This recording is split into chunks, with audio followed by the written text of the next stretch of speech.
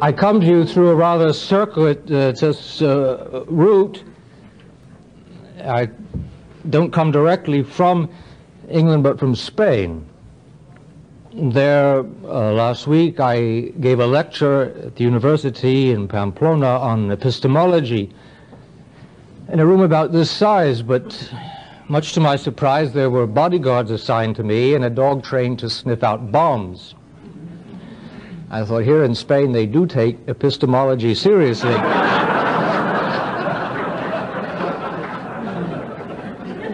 the reason they were there was because that is an area afflicted by uh, terrorism, Basque terrorism. This is one university in which the faith is proclaimed, a pontifical Uh, university under the patronage of Our Lady, the seat of wisdom. Our Lady is always a threat to those who lie. Terrorists terrorize everyone else, but they are terrorized by Our Lady. She is the great teacher of the church. You've asked me to speak about her in connection with Protestantism. I can very easily begin by describing a room I was in about a month ago in Birmingham, England. This was the room uh, that Cardinal Newman used in his last years. Various portraits of friends around the walls, his altar where I had the privilege to say Mass using his chalice at the invitation of the Oratorian Fathers one thing particularly struck me. There was one picture of a church over the door.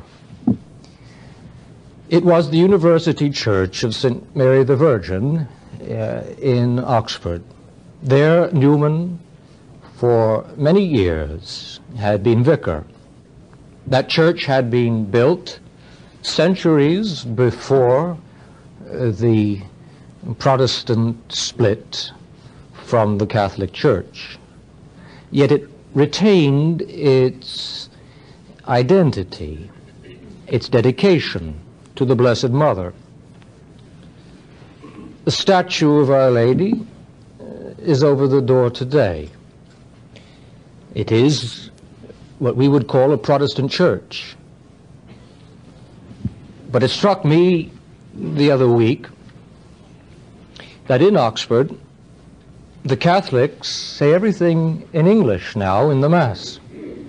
If you go to the Protestant church, the service is all in Latin, and the sermon is preached in Latin. Because that is the academic language of a university, at the time of the so called Reformation, there was no need to uh, change in the university church in 1843. A year before he was received uh, into the Catholic Church, Newman preached a sermon on Our Lady. Over the years, his consciousness of who she is and what she means, what she does, had become clearer to him. And in that sermon, he said, that Our Lady is a teacher. She is the model of wisdom uh, for the university, for all who would take doctrine seriously. Here's one line in there. She does not merely accept the doctrine, she dwells upon it. She does not merely possess it, she uses it. She does not merely assent to it, she develops it. She does not simply submit her reason to it, she reasons upon it. Therefore, she represents to us not only the faith of the simple believer, but the faith of the great doctors of the church who were obliged to study, to ponder, to investigate, to weigh, and develop as well as proclaim the gospel. This is a very high theology of the Blessed Mother. And it was preached before he became officially a Catholic. He had inherited a tradition which had not entirely gone out. Newman was aware of the great patrimony of the church, and forgive me, I mean matrimony as well. One has to be very careful these days. But the ancient fathers of the church knew that they were fathers, and the mothers knew they were mothers.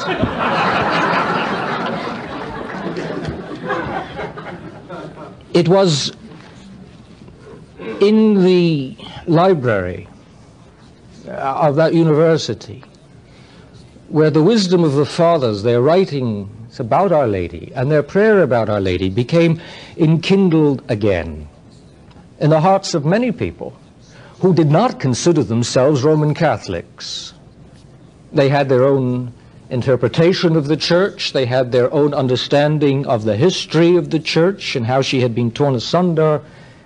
Nevertheless, they understood that at the heart of all true understanding of the church is Our Lady. It did not seem to them to be a con- that there was a contradiction between being a Protestant uh, and being uh, a child of Our Lady. But the more Newman pondered this mystery, the more he realized that the fathers had taken a stand against a lie. That lie expressed itself in the controversy over the definition of who Our Lady is. Is she or is she not the Mother of God? This mystery eventually led Newman into the fullness of the church. Yet he, before being a Catholic, was able to spread before his university, before the students, this deep and profound mystery. This is something we must bear in mind when we talk about Protestants and the Blessed Virgin Mary. There are different kinds of Protestants. What do we mean when we talk about Protestants?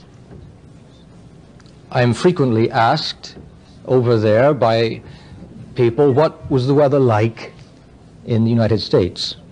I say, what part of the United States? when we talk about Protestants and the Blessed Mother, we must ask what part of Protestantism do we mean? Which Protestants uh, are we speaking of? Do we mean Thomas Cromwell, who wanted to lay Catholicism barren and strew it with salt? Or do we mean the noble Huguenots of France who suffered much themselves and crossed the sea to help spread a great and dignified civilization? Do we mean Oliver Cromwell, for whom the only good Catholic was a dead one?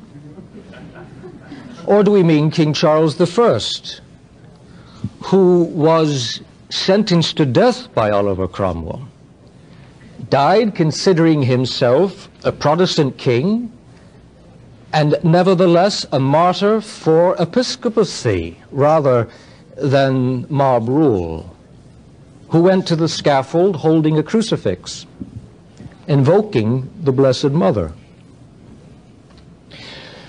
Do we mean a fanatic like Titus Oates, who perjured himself to secure the execution of Catholics? Or do we mean John Wesley, whose Methodist movement attained that nickname because he insisted upon a methodical daily celebration of Holy Communion, who recited the Rosary as he was dying? Do we mean a fanatic like Gordon of the Gordon riots? Or a noble evangelical like General Gordon, who was slaughtered by the Mahdi dervishes in Egypt, carrying uh, on his person a copy of Newman's Dream of Gerontius? Do we mean Florence Nightingale or do we mean Tammy Bakker? do we mean Karl Barth or Jimmy Swaggart? What do we mean when we say Protestant? There are two basic strains of which we can speak. One does not really consider itself a Protestant at all, at least in its higher development. I mean Anglicanism. I was brought up an Anglican, and much of our theological apologetic consisted in attacking the Protestants. We were uh, far more suspicious of any kind of ecumenical approach to Protestantism than Roman Catholics are. Anglicanism basically was a political accident. It only developed a, a, theology to justify itself as the years went on and politics became more complicated. The shrine of Our Lady of Walsingham in England, far more ancient than the large Marian shrines today, uh, in France and Portugal was revived in this century by a high Anglican vicar, much to the shock of his own bishop, who was a low churchman and did not understand how a Protestant could make such a fuss over the mother of Christ. This vicar used to play, uh, pray in his church at the communion service for our Reverend Bishop and all other aged incompetents. he approached Queen Mary once for a contribution to this shrine, the grandmother of the present Queen of England. A great antiquarian and a great lady. But she really had no idea of what this shrine of Our Lady of Walsingham was about. And when he got done explaining it, he said, she said, This is all very interesting, but could you explain me one thing? Who exactly was this Lady Walsingham? While there was this effort to recover devotion to the Mother of our Lord, the uh, official tone of the Anglican Church was, as it is generally liked to be, reserved. So it was that Ronald Knox, when still an Anglican, said to his bishop, What it all boils down to, my lord, is this. I consider her to be the mother of God and the Queen of Heaven, and you think she's a dead Roman Catholic. as Our Lady teaches us, as Our Lady not only accepts doctrine but dwells upon it, not only possesses it but uses it, not only uh, dwells and thinks upon it and accepts it, but develops it, so does she lead anyone who thinks about her deeply enough into the fullness of her household. She is a mother, and she is a mother of a large family, and she knows where all her children are, but she wants them ever closer to her. That's the one strain of which we might speak when we consider Protestantism, but I have a feeling in the context of this conference you are interested in something else. The second strain is what we would call uh, continental Protestantism. But within that, we have three basic identities as well. The first, the confessional tradition the classical continental reform tradition, that of Zwingli and Luther and Calvin. They had so imbued the Marian fact that as their theology disintegrated, Our Lady still loomed above them. Zwingli had no great difficulty with honor to Our Lady. He tried to define it in various ways peculiar to himself, but he did not deny her central place in salvation history. Luther speaks in a most extravagant way to modern Protestant ears. He maintained for a long time devotion mm, to the Immaculate Heart. He kept liturgically the Marian feasts, such as the Annunciation. In one sermon, he says, If Our Lady were to enter Jerusalem today in a golden coach, drawn by 4,000 horses, it would not be an honor great enough for she who bore in her womb our Savior. Martin Luther. Calvin was a little more cautious, but he himself spoke as a son when he spoke of his mother in heaven. For if we disagree with their theology, as we must, they at least were theological. They understood that theological words mean something. They understood that the Council of Ephesus was an ecumenical council, that the definition of Theotokos meant something important. So just as the Greeks spoke of the Theotokos, the God-bearer, so Luther was able to speak of the Gottesgeberin. He was able to speak of the Gottesmutter. He was able to speak of this Mother of God, just as Ephesus did. That tradition gradually was watered down. It was only in our century that certain noble voices recovered it. Probably the greatest of all being Karl Barth who in his church dogmatics spends page after page after page on Mariology. He has his grave reservations, and he was a little cynical about what he considered unscriptural developments. In 1950, he surprised some of his fellow faculty in Germany when he expressed a desire to go to Rome to attend the definition of the Assumption. He said, after spending a whole lifetime in a German theological faculty, it will be so refreshing to hear one man say something infallibly.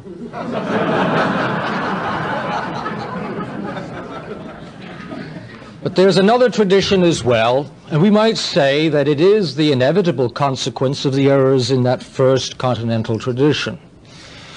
That tradition which stems from the subjective idealism of Kant through Schleiermacher, through Hegel, into the Historiegeschichte school of noble figures, but cynical figures, more materialistic and anti-supernatural figures like uh, Kähler and Harnack, for whom Christ basically becomes not a supernatural redeemer, but a human moral precursor of the new man and the new age.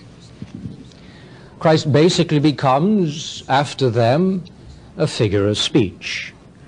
Schweitzer himself, that great noble genius and a missionary,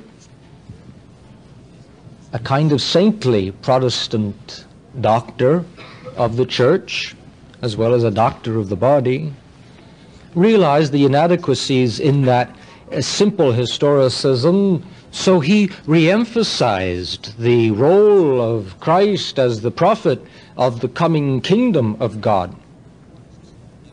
But that too was inadequate, for he did not understand the full supernatural consequences of that kingdom which so easily became simply a moral institution.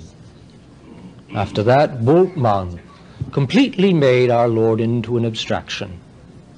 And as many Catholic theologians have said,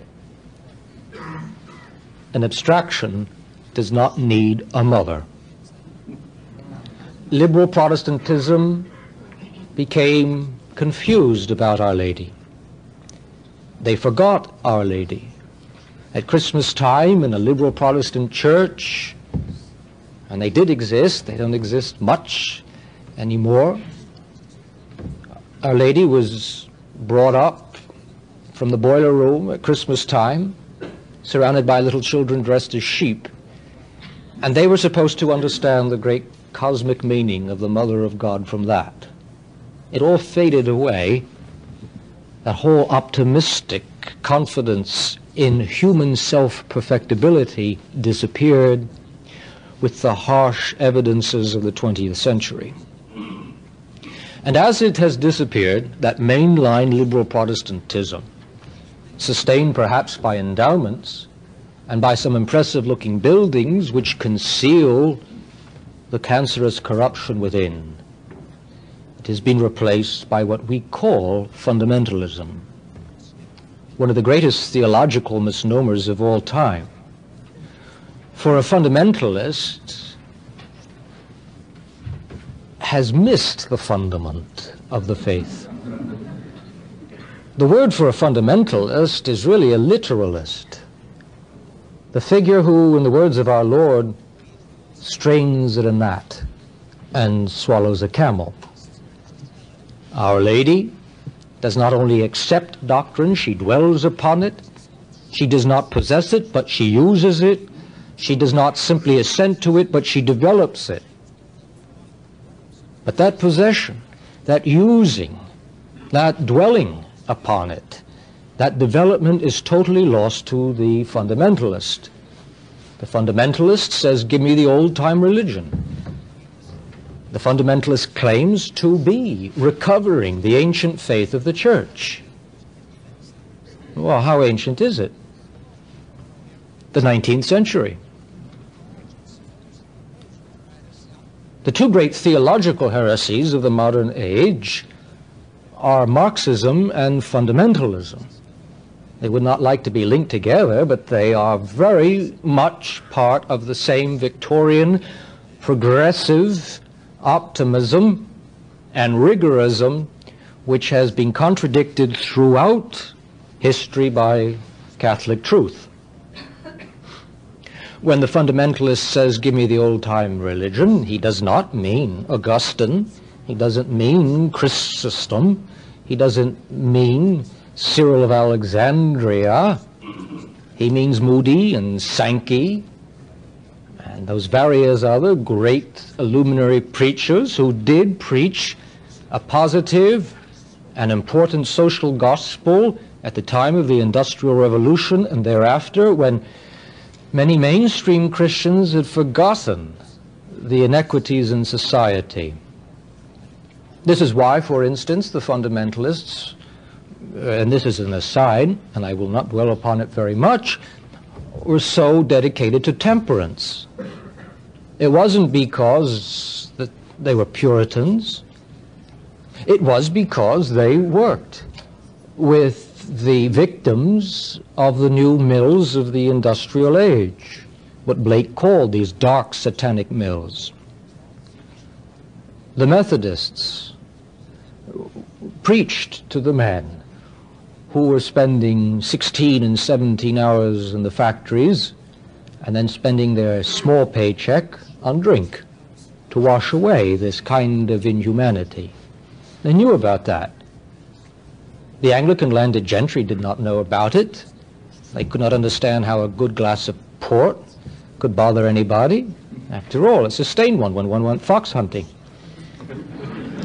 So much of what we call fundamentalist moral theology is socially conditioned and for good reasons. It is said that most of the western United States became uh, Baptist and Methodist because those preachers went out on horseback. The Presbyterians waited until there were stagecoaches, and the Episcopalians waited for the invention of the Pullman car. So we approach a certain amount of fundamentalist moral tradition with respect for what it does stand for. But notwithstanding, it has become corrupted because it was based on a very shaky foundation.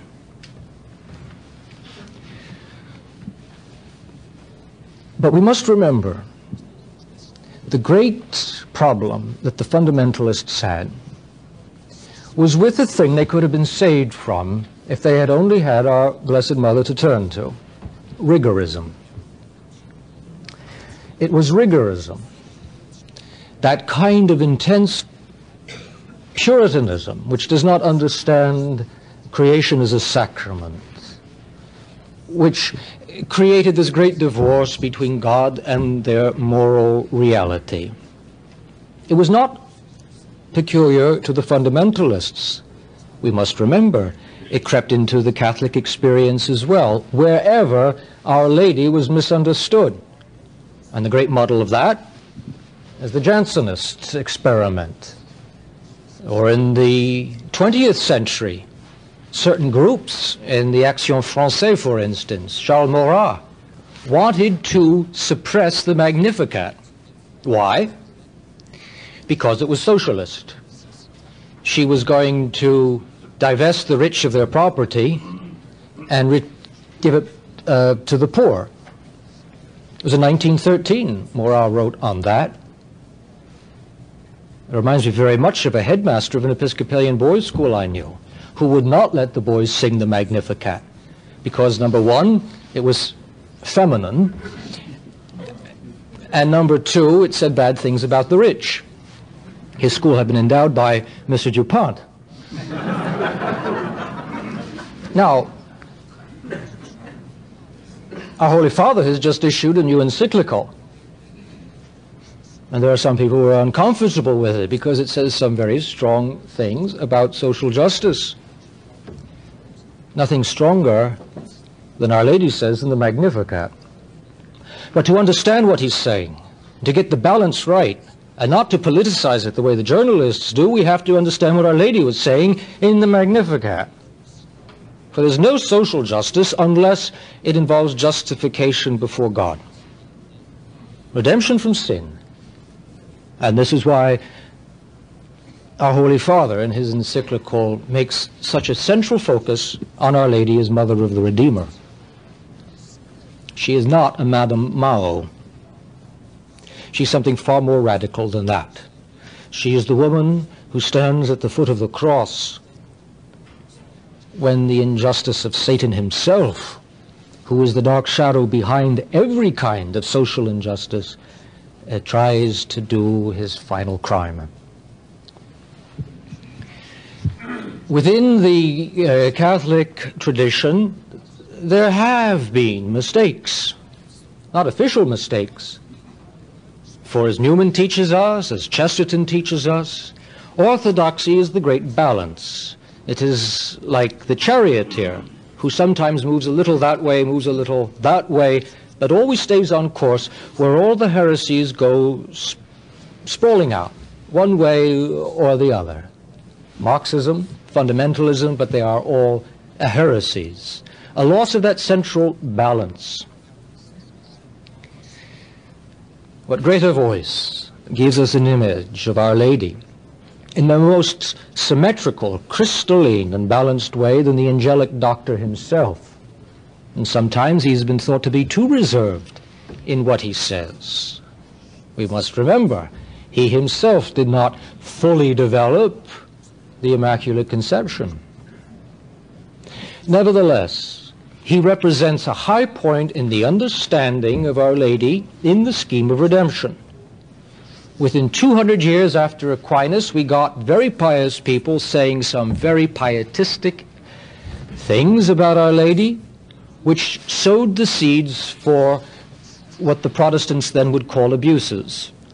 And these were not light figures, they were serious and very noble figures. But they were guilty of what we might call an occasional excess of expression. St. Bernard of Siena who said that Our Lady in her mother's womb was enjoying the beatific vision, an idea which had to be condemned. He was able to lecture on logic to the doctors of the church, poetic excess which had to be condemned. Jean Gerson at the University of Paris, died in 1429, reminded the voices in the church that Our Lady leads us into truth. And that means that there's no need to be excessive in what we say about her. For what greater thing can we say than that she is the mother of God? We don't have to pretend that she was a great poet, that she was a great logician, or that she spoke perfect English. we don't have to be like the cure in Lourdes who told Bernadette that that voice could not have been Our Lady, for Our Lady would not have spoken such poor French.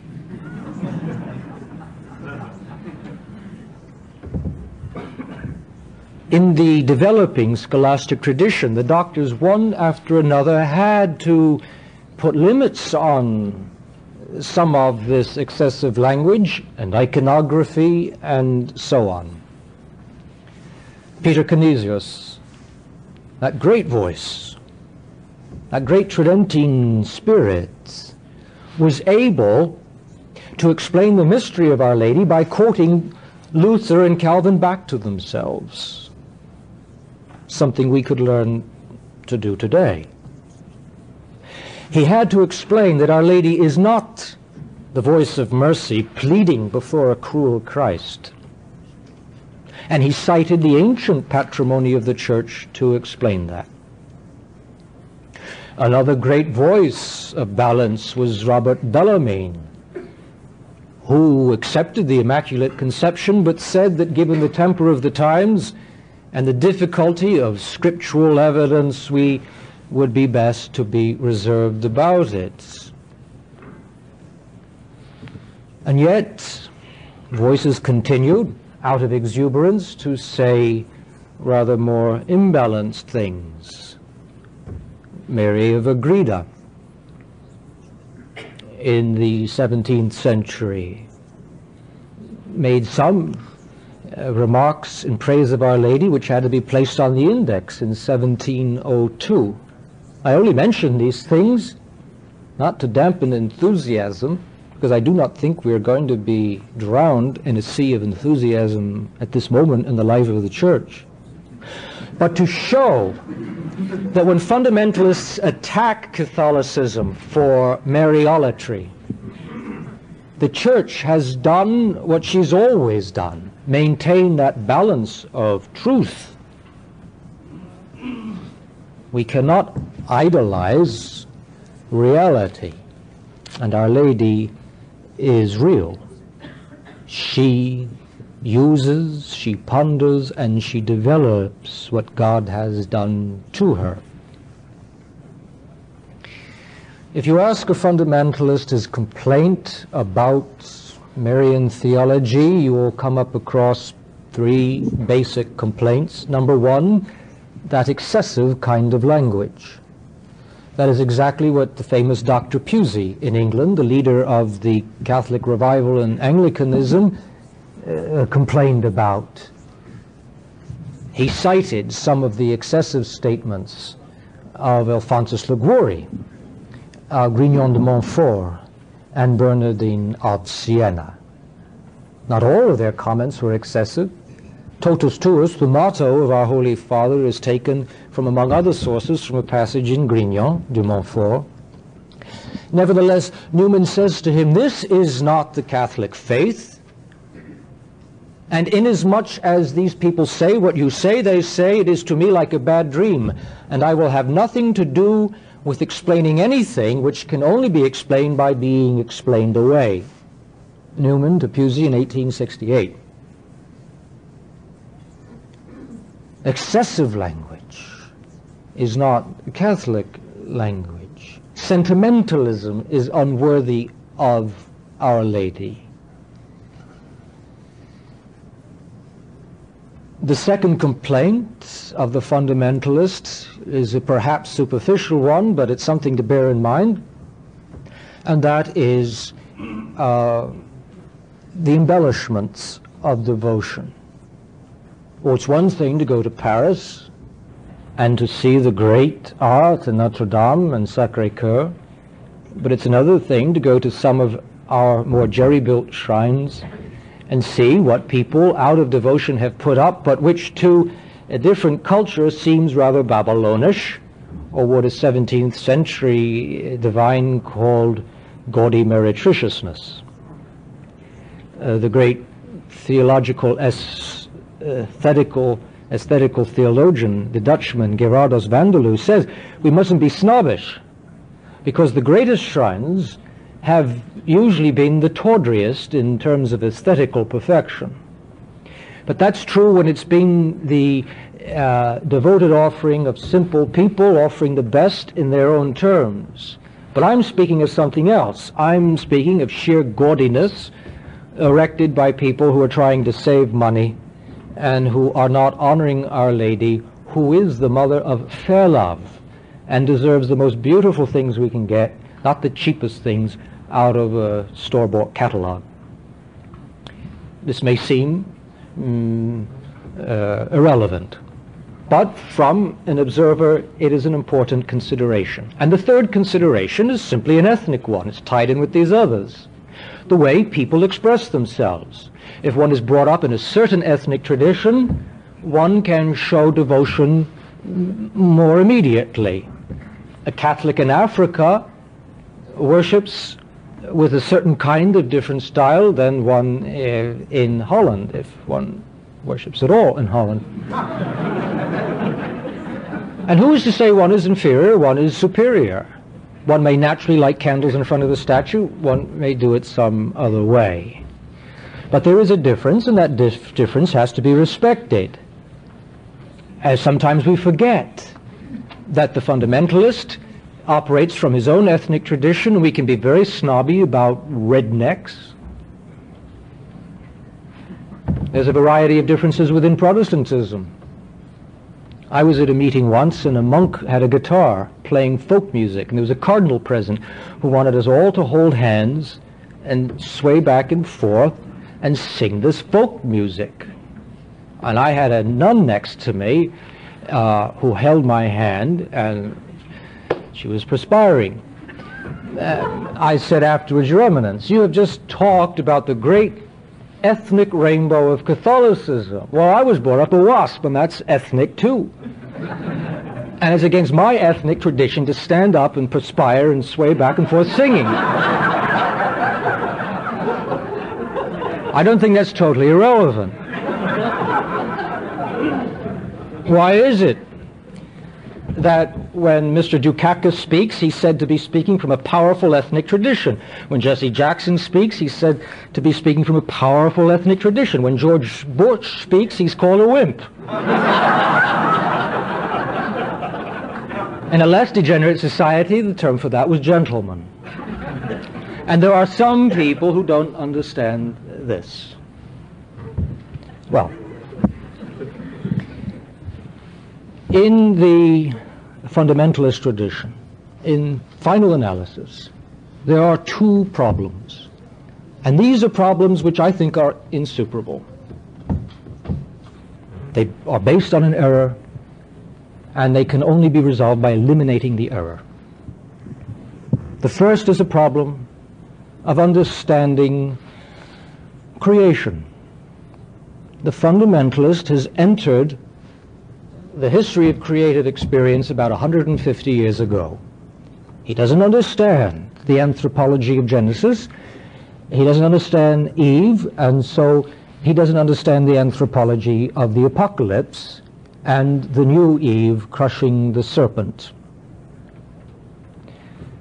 Whenever a fundamentalist speaks what we call solid moral doctrine, beware. It is not because it's based on natural law. The fundamentalist does not understand natural law. It's because it's part of his cultural givenness. And when that culture changes, that moral commitment will change. We may unite with the fundamentalists now on what we call pro-life issues. But that's a very constricted commitment to life. It does not include contraception. It does not really include the integrity of the family and the indissolubility of marriage. It used to, but when society bent, they bent. And the more society bends on abortion, I predict, the more the fundamentalists will bend as well. The fundamentalist moral commitment is not sustained by natural law, but by an enforced puritanical rigorism. And the Catholic Church has always spoken against that puritanical rigorism. When the Franciscans wanted to make their order more rigorous than St. Francis had planned it, Occam supported these so-called spiritual Franciscans, the precursors of the Jansenists. It was Pope John the 22nd who expressed the voice of Catholic moderation. The fundamentalist does not understand that balance.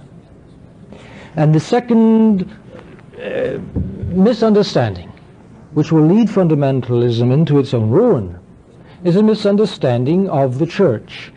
The fundamentalist has no ecclesiology, for the fundamentalist has no sense of what God has done truly in history. The fundamentalist bases his understanding of revelation on the same kind of heresy which gave us Marxism, a positivism, Auguste Comte, and the atheist vision of man is the same foundation that the fundamentalist bases his theory on and calls it Christian fundamentalism. It isn't. It's post-rationalism. For this reason, the fundamentalists will never be able to understand what is meant by the church. It is sad to see that in, within Catholicism some aberrant interpretations have lent themselves to this idea. Beeks, for instance, does not understand the divine election of holy orders, the ontological difference of the priesthood. And I'm sad to say a more sophisticated voice, that of Raymond Brown in his book on the priesthood, priests and deacons, says pretty much the same thing. But these are aberrant voices. In the end, it is that constant balance of the church focused upon the model of Our Lady which leads us into all truth. For that reason, we can truly say that to get Mary wrong is to get the church wrong, and to get the church wrong is to get creation wrong. Every heresy basically is a Marian heresy. The fundamentalist speaks very much about history. Yet Our Lady has spoken to us in history. To ignore that is not to be a fundamentalist. It's to be a literalist who says that Our Lady and the saints cannot speak unless they speak on a certain page in my translation. To get Our Lady wrong is to get the church wrong. It is to think that the church is whatever we turn on when we turn on the television dial. And for that reason, the understanding of God's great works in history will be very much reduced. I still keep in uh, my breviary an obituary of a lady I never met, died a few years ago in White Plains here.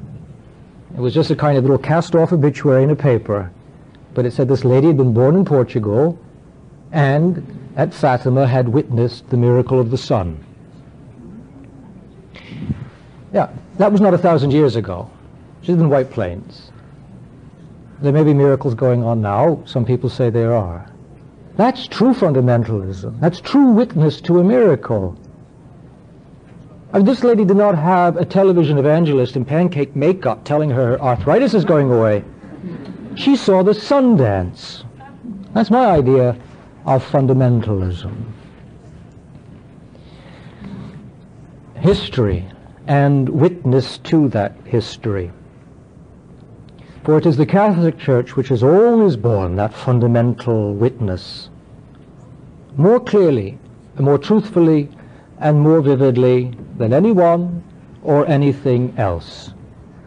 When our Holy Father was shot in St. Peter's Square, all the way to the hospital, he kept repeating the name of the Blessed Mother. That's witness. True witness to the gospel does not consist in what a man says on television is people throw money at him, but what a man says when he's bleeding and people are throwing bullets at him. Let no one say that they are evangelists. There's only one evangelist who can speak that way. And he is the world's only fundamentalist, for he is Peter. There can be no fundamentalism which is not fundamentally built upon the rock. We must claim this title because our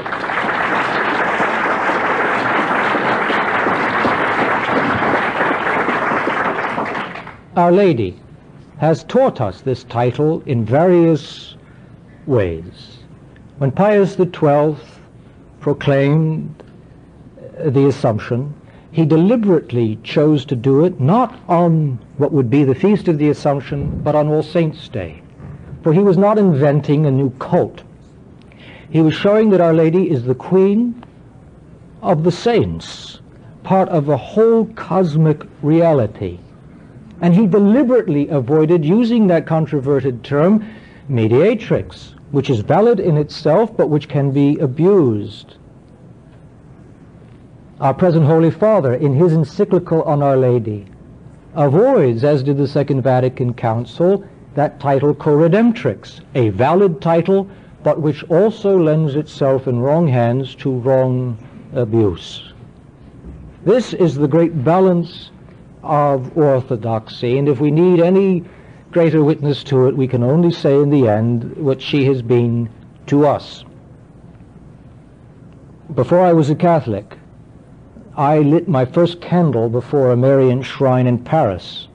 I was there with the young Protestant friend of mine from Ulster. We didn't know really what we were doing, but we knew how to light a match and light a candle. About 15 years later, in a process which I could not have anticipated, I found myself back in that cathedral, having been ordained in the Catholic Church. It was Easter afternoon. The church was completely full. We were standing, and an usher pointed to us two seats. I was with a companion from Rome. And they were right by the cardinal's throne. We thought they had been reserved. Everyone else thought so too, so no one took them. But they were just there, so we sat down. And as I was seated, I turned around and there was a candle flickering. It was the same candle stand that I had lit years before, and it was the same statue looking down upon me. We don't know everything the mother knows, but she keeps secrets to herself. That may be why we have the Shroud of Turin today. You know what mothers are like. Every so often when you get very old or older, she'll produce something from your infancy that you wish you'd kept. Our Blessed Mother may have reserved the shroud for this skeptical generation. Mothers remember things and mothers keep things. And so poor Claudel was converted at that very same shrine in Notre Dame, and he writes in his diary what St. Paul preached to me and Augustine explained to me, and when Gregory broke bread for me with antiphon and response, Our Lady above me was there to make it all clear to me. That's what we mean when we say she's not only Theotokos, but she's a mother. If I had been brought up in a Catholic seminary and I was denied that great grace, but if I had been brought up in a Catholic seminary, I'm not quite sure that I would have understood Our Lady the way I did with my rather more limited upbringing. I'm quite sure my Latin would be a lot worse. and I did not learn the rosary as a Catholic. My rosary was taught to me, I always keep it with me. My rosary was taught to me by my grandmother, an English lady, and I'm not quite sure that she'd ever been in a Catholic church. But all her brothers had been killed uh, on the front in the First World War.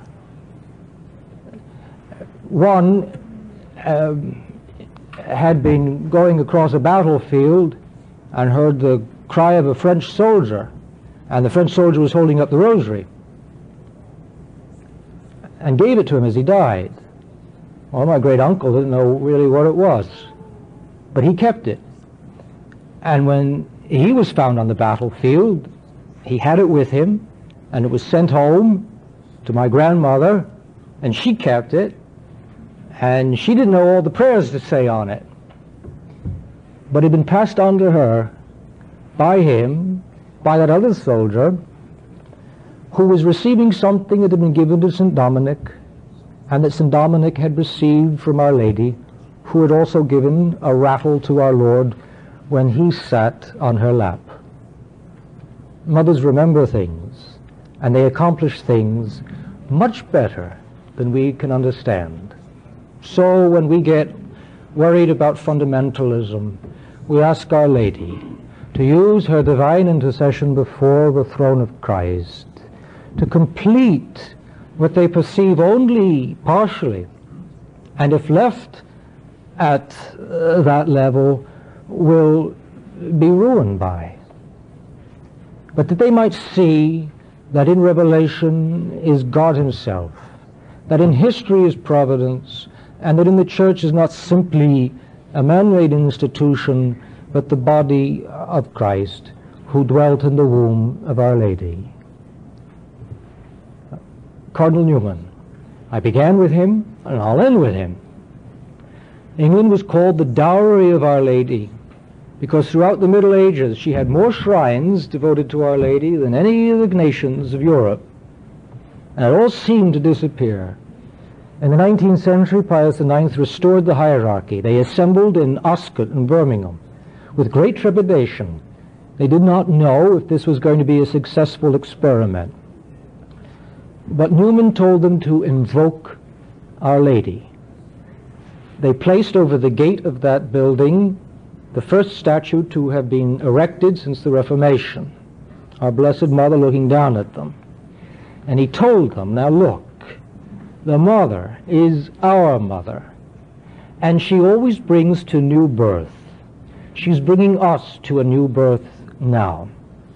And this is the way he began his sermon the second spring which is the most fundamentalist sermon ever preached, and which we should preach to all those who call themselves fundamentalists without really knowing what they mean. We have familiar experience of the order in the material world which surrounds us, frail and transitory, as is every part of it, restless and migratory, as are all its elements, never ceasing as are its changes, still it abides. It is held together by a law of permanence, it is bound in unity. As it is ever dying, so is it ever coming to life again. And every death is parent to a thousand lives. Thank you.